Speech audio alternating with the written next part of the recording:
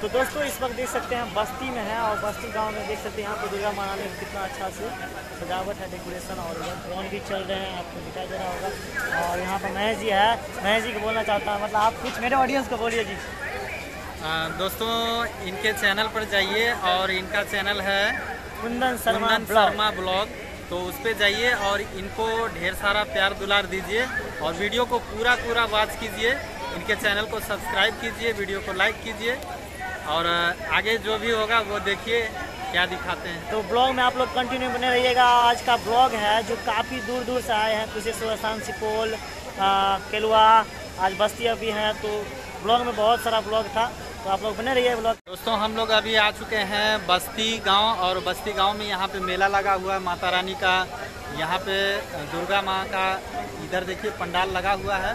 और माता का जो मूर्ति है, यहाँ स्थापित किया गया है, लोग दर्शन कर रहे हैं।